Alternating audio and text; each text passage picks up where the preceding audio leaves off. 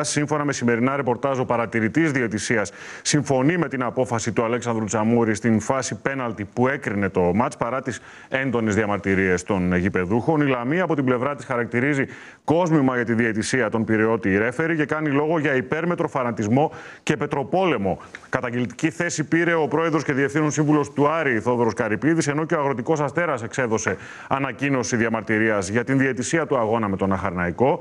Βλέπουμε τι δήλωσε ο κύριος Καρυπίδη, με σκληρά λόγια, έχει καταντήσει πλέον αηδία αυτό που συμβαίνει με τη Λαμία. Όταν δεν μπορούν να κερδίσουν ένα παιχνίδι σε κανονικές συνθήκες, το κερδίζουν αλλιώς εντός εισαγωγικών.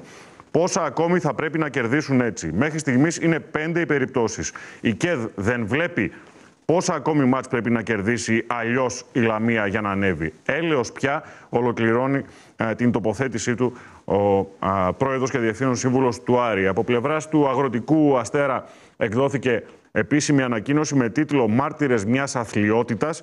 Γίναμε όλοι μάρτυρες μιας αθλειότητας. Έτσι θα πάει το ποδόσφαιρο μπροστά και θα εξηγιανθεί. Με αυτές τις τακτικές θα έρθει η κάθαρση σε όλες τις επαγγελματικές κατηγορίες από τις αμαρτίες του παρελθόντος.